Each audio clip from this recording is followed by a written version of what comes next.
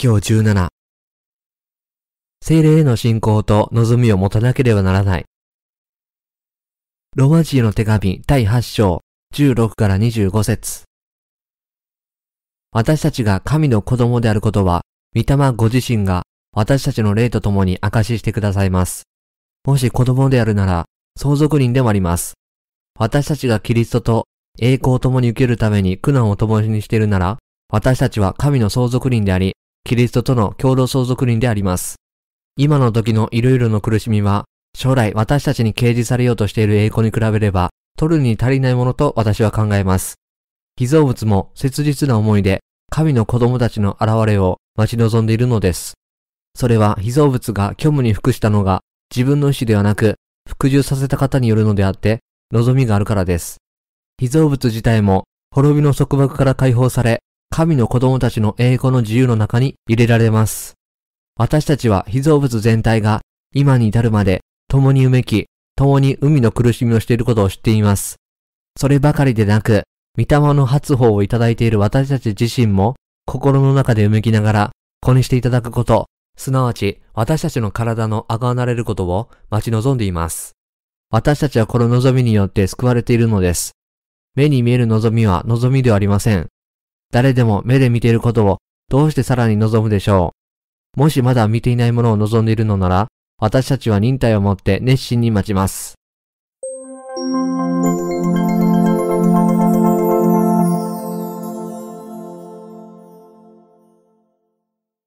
今は望みのない時。今この世に本物の望みがあるでしょうかいいえ、ありません。それはイエスと共にのみ存在します。今は望みのない不確かな時です。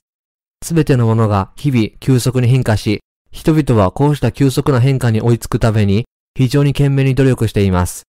彼らは霊的な真理を求めることもせず、霊的な幸福を心配することもありません。代わりに彼らはこの世のしもべとして失敗を避け、生きようとあがいています。新しい仕事が生まれ、古い仕事は廃れていきます。同様に人々も劇的な変化を遂げています。したがって彼らは非常に忙しく不安な生活をしています。そして徐々にこの世に対する彼らの望みは消えていきます。この理由の一つは彼らが将来の保証なしで生活を送っているからです。私たちはそのような不安定な世で生きています。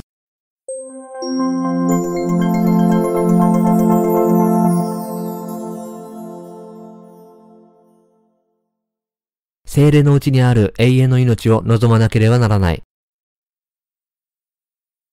どうしたら本物の望みを得ることができるのでしょう？私たちは水と御霊の福音を信じることによって望みを得ることができます。精霊を受けた者の望みは地上ではなく天国の中にあります。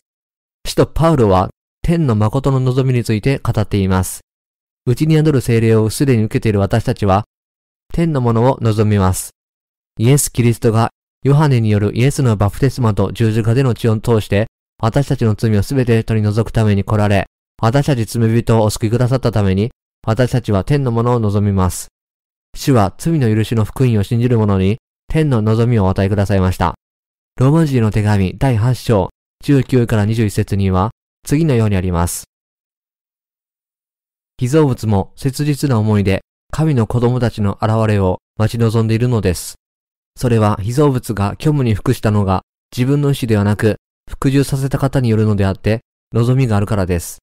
被造物自体も滅びの束縛から解放され、神の子供たちの栄光の自由の中に入れられます。すべての被造物は、滅びと死の束縛から解放されることを望んでいます。この世のすべてのものは不完全ですから、切実な思いで神の子供たちの現れを待ち望んでいます。加えて彼らは滅びの束縛から解放されて永遠に生きることを願っています。すべての被造物は彼らが決して衰えたり消えたりせず、代わりに永遠に生きる日を待ち望んでいます。いつの日か神によって作られたすべての被造物が新しくされます。花はこの世界で枯れ、朽ち果てますが、新しい世界で常に開花し、永遠に生き続けます。内に宿る精霊を持つ私たちもまた、この新しい世界を見るでしょう。イエス・キリストはご自分が再び来られて、内に宿る精霊を持つ者を蘇らせ、それぞれに口内不死である新しい体を与え、永遠の命を与えなると約束なさいました。神はまた彼らが神と共に天国で永遠に生きることを約束なさいました。世界中のすべての被造物がその日を待ち望んでいます。こうしたものはその日が来ると私たち神の子供と一緒に永遠に生きるのです。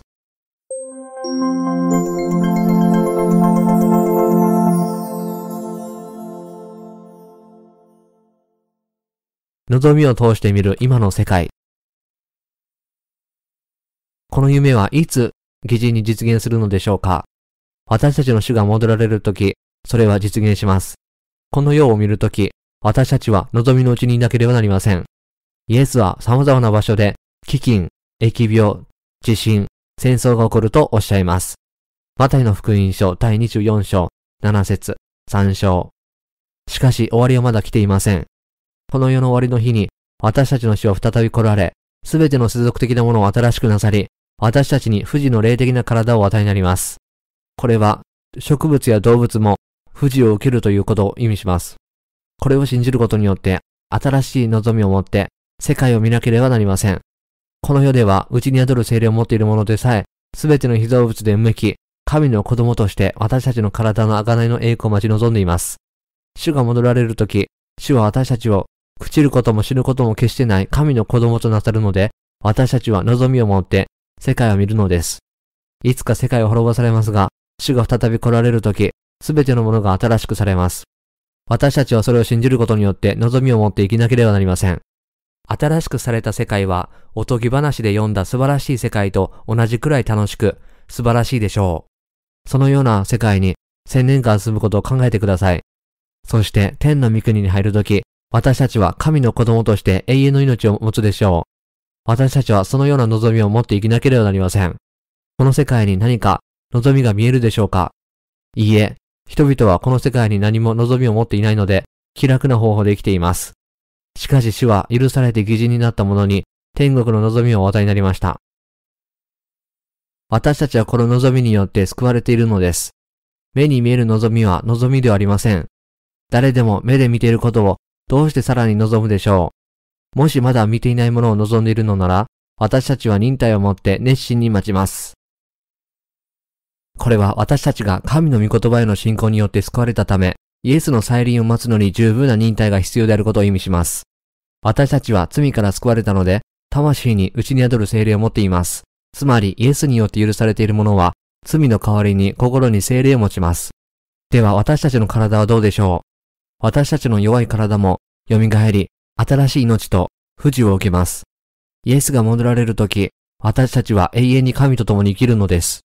新しく生まれた者だけが、望みのうちにそのようにする特権を与えられているために、私たちの霊と肉は完全になります。私たちの肉は永遠になり、決して病気になることがありません。私たちの世俗的な体は弱く、従って完全な人生を送ることは不可能です。そうは言っても私たちは完全な生活を送ります。死の再臨を楽しみにしましょう。内に宿る精霊を持つ者だけが、このような望みを持って生活を送ることができるのです。偽人の望みは天国だけでなく、この世界でも実現します。聖書は大観難の後に、この世界が滅びるとき、主が再び来られると教えています。主は確かに来られます。主が初めて来られたとき、主は罪人のためにパフテスを受けられ、罪人を偽人になさるために十字架で死なれ、そして最終的に天国に昇天なさいました。今こそ主が再び来ようとしておられる時です。その時、主はイエスを信じて、内に宿る精霊を受けた眠っている生徒を皆、滅びの束縛から解放なさいます。決して朽ちることも病気になることもない新しい天の体をお与えになります。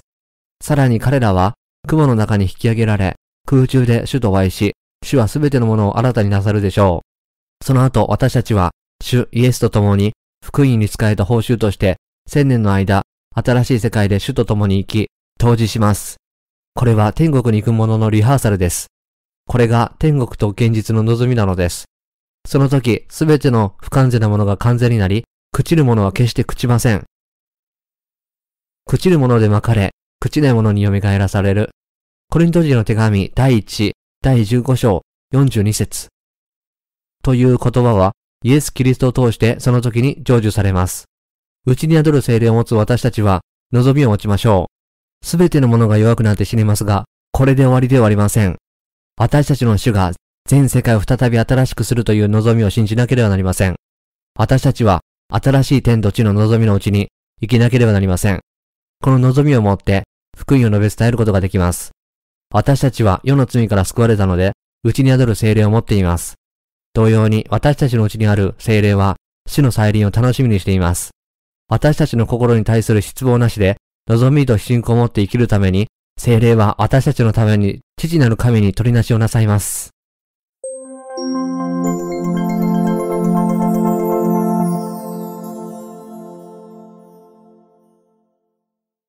私たちは精霊への望みのうちに生きるべき。偽人の場所はどこでしょう？主が再び来られた時に、この地球を新たになさることによって再建される千年王国、さらには天の御国にあります。従って私たちはその来たるべき日を待つのに十分忍耐強くあるべきです。この世が滅びた時に、主が私たちの体を完全になさると信じなければなりません。栄光ある明日への望みを持たなければなりません。千年王国。主イエスがその約束に従って二度目にこの世に来臨なさるとき、天から来られ、キリストにある死者がまずはじめに蘇ります。これに続いてイエスはすべての生徒や生きている者、復活した者を永遠の体、朽ちない富士の体に変えられ、雲の中に一挙に引き上げられ、空中で主とお会いします。テサノニケ人の手紙第1、第4章16から17節コリント人の手紙第1、第15章51から53節3章それから神の怒りの7つの鉢を残されている罪人に注いだ後、神はすべてのものを新しくなさいます。神は新しくなさる地上に御国を建て、大地の復活に預かった者と共に千年の間当時します。目視録第20章4から5節3章。青年王国の後、神はすべての死者を裁かれ、火の池に投げ込まれます。目視録第20章11から15節3章。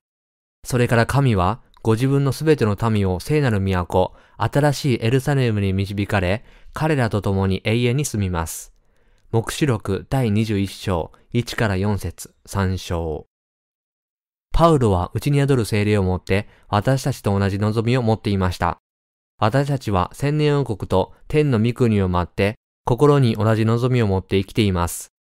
新しく生まれていない者はこの世界の崩壊とともに滅びますが、私たち新しく生まれたキリスト教徒は新しい天と地を所有します。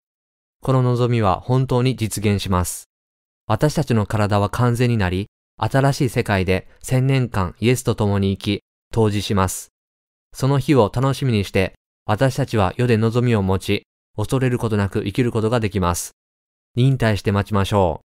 私たちの人生は疲れ切っていますが、私たちは神を信じているので、私たちの望みは実現します。望みのないものはすでに死んだ人々に過ぎません。神の御言葉を信じて望みを持ち、皆さんの夢を維持してください。私たちの許しが本物だったように、私たちの体の変化は本物になるでしょうし、すべての生き物が永遠の命をいるのは現実です。私たちの望みも現実です。皆さんが信じていることへの信仰を持ってください。望みを持っている人は美しくなり、幸せになります。人は望みがなければ不幸になります。夢のないものには幸せがありません。私たちは千年王国と新しい天と新しい地である天の御国への望みがあるので、私たちは幸せな生活を送ることができます。義人は望みを持ち、精霊のうちにこの望みを述べ伝えなければなりません。私たちの福音が全世界に広がることを望まなければなりません。皆さんが確固たる信仰を持っているなら、皆さんは世界がそれほど大きくないことに気づくでしょう。私たちの初めは些細なことでしたが、忍耐を持って望みを持つなら、世界中に福音を述べ伝えることができます。パウロがしたように私たちは信じなければなりません。望みを持つ者は、この美しい福音を述べ伝える仕事に忠実です。私たちはこの絶望の時代に福音が広まることを望まなければなりません。私たちは疲れ果てた絶望的で貧しく謙虚な人たちに美しい福音を述べ伝えなければなりません。水と御霊の福音を信じて罪を許された者だけが入ることができる天の御国についての望みを述べ伝え、彼らを闇から救い出さなければなりません。私たちはこの苦難の時代の後、神の世界が盗人のように突然来るという望みを持つように、彼らを奮い立たせなければなりません。新しく生まれた生徒としもべの皆さん、天国への望みをしっかりと守って、この福音をこの世の終わりまで述べ伝えてください。この世がどれほど早く滅びようとも、望みを持つ人々は、この世の人生を超える永遠のものを持っているので、決して滅びることがありません。彼らは確かに主に与えられた第二の人生を持っています。